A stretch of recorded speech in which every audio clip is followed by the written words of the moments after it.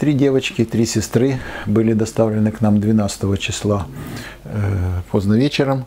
Э, после ДТП тяжелом состоянии. Они были перевезены к нам с областной больницы, куда были доставлены в ближайший стационар после ДТП. Там произведены э, необходимые минимальные обследования, осмотрены специалистами скорой помощи, перевезены к нам для оказания специализированной помощи.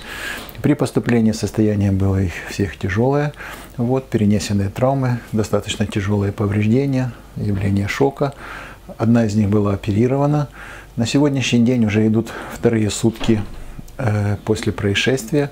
Состояние девочек значительно лучше. Они все в сознании, общаются, разговаривают. Проведен комплекс всех необходимых исследований, лечебных мероприятий, проводилась интенсивная терапия. В общем, девочки продолжают свое лечение. В настоящий момент э, непосредственной угрозы жизни нет.